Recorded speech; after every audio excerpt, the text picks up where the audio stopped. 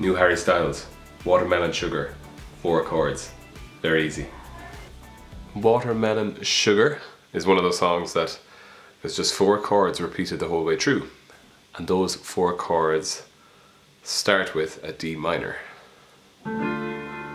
which is just D, D, A, D, and F,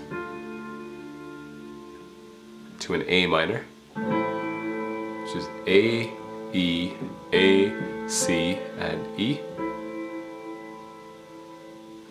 to a C major, which is C, C, A, C, and E. And they finally resolve to a G major, which is G, D, G, B, and D.